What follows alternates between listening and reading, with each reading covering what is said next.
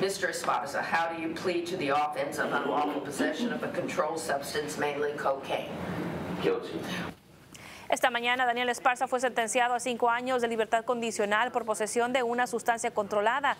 Esparza es el dueño del negocio 361 Grants, el cual ayuda a personas a aplicar por subsidios federales. Muchas de esas personas se han quejado de que le pagaron 150 dólares por sus servicios y nunca recibieron el dinero que les prometió.